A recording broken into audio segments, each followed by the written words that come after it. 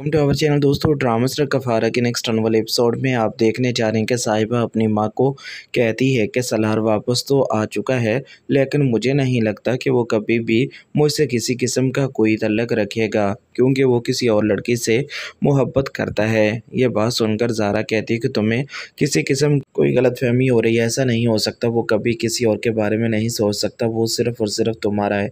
ताहिर सिकंदर, जैद का बहुत ही ज़्यादा पक्का और बिजनेसमैन इंसान है। वो किसी भी लड़की से ऐसे सलार की शादी होने नहीं देगा। वो, उसका इकलौता बेटा है। ये बात सुनकर एक बार फिर साहिबा कहती है कि हर चीज़ को दौलत से ख़रीदा नहीं जा सकता।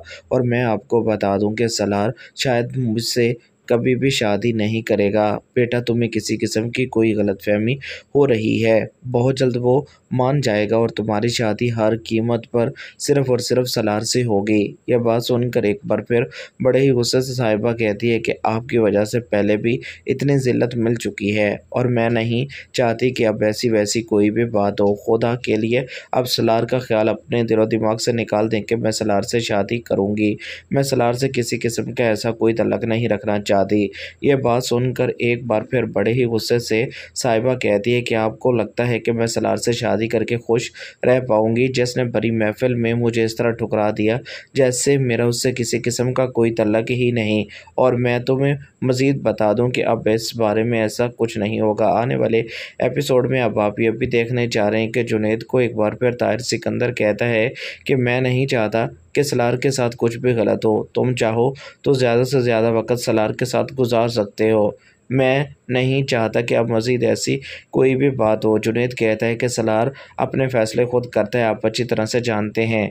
वो कभी भी मेरी कोई बात नहीं मानेगा। मैंने उसे कितनी बार रोका, लेकिन वो मेरी कब सुनता है? जो कुछ अपनी मर्ज़ी से ही करता है।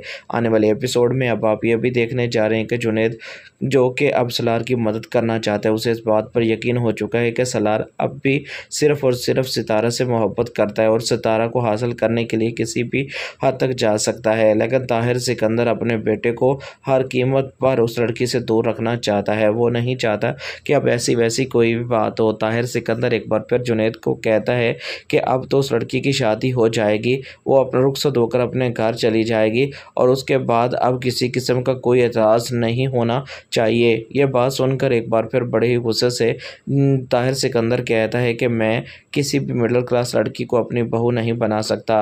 उसकी शादी वहीं होगी जहाँ मैं चाहूँगा, मैं फ़ैसला उसकी ज़िंदगी का कर चुका हूँ, जो कुछ भी है। अब मज़ीद इस टॉपिक पर कोई बात नहीं होगी। यह बात सुनकर ताहिर सिकंदर कहता है कि मैं तो चाहता हूँ कि बस सलार की ज़िंदगी में सब कुछ ठीक हो जाए। मज़ीद अब वैसी वैसी कोई भी बात हो ना हो। यह सब कुछ आप आने वाले एपिसोड में देखने जा रहे हैं। दोस्तों, चैनल को सब्सक्राइब कर लें ताकि हर आने वाली वीडियो सबसे पहले आप तक पहुँच सके। शुक्रिया। अल्लाह हाफिज़।